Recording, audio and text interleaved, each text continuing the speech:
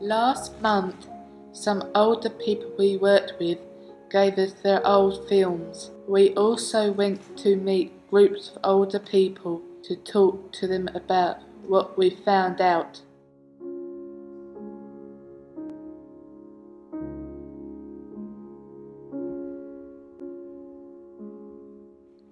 This is a family trip to the beach.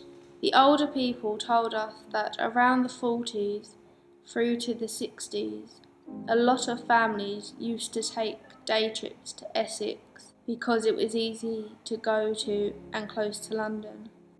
No one we met was quite sure if this was Clacton on Sea or Southend on Sea, but it looks nice and the people looked like they're having a good time.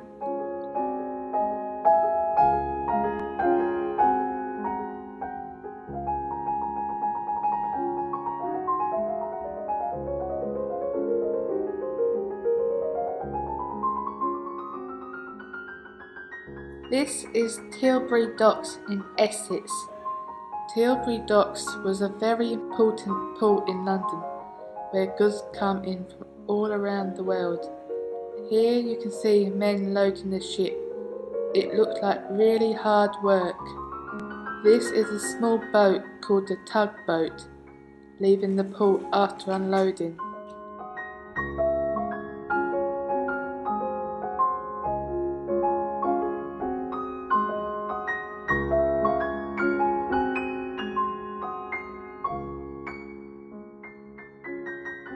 This is at London Zoo when it reopened after the war.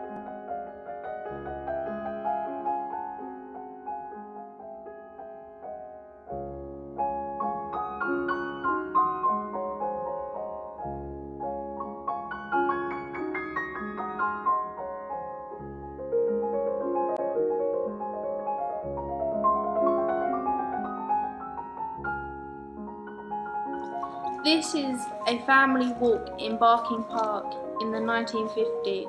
Here you can see the Phoenix paddle steamer, which was very popular. It's a shame it's not around anymore because it looks very fun. The older people we met told us about the miniature steam train that many of them used to ride as children. They were very pleased to see it again in this film.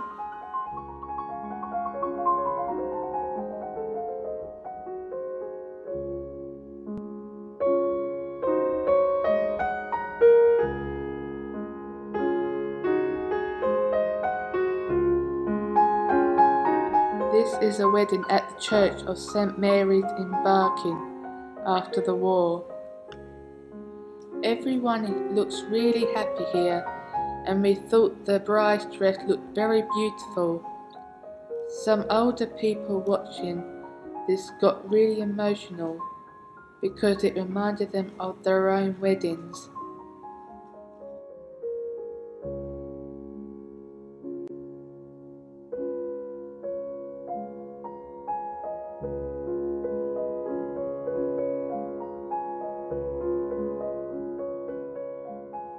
Some older people who were in the army told us this is a military passing out parade, which means that the men graduated to be soldiers.